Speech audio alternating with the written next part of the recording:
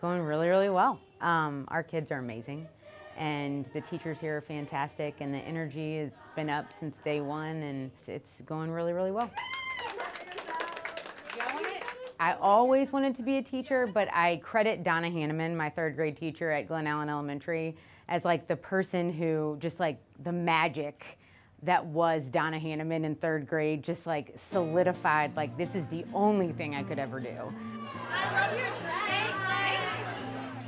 I love that I'm a product of Henrico because I think I can speak to the experience as a student. I had incredible educators all the way up.